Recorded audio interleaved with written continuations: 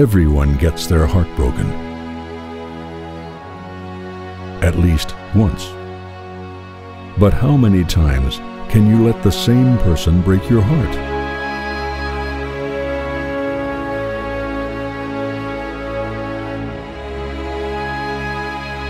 Maybe it's time to break a few hearts yourself.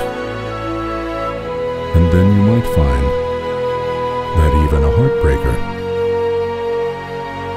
can get their own heart.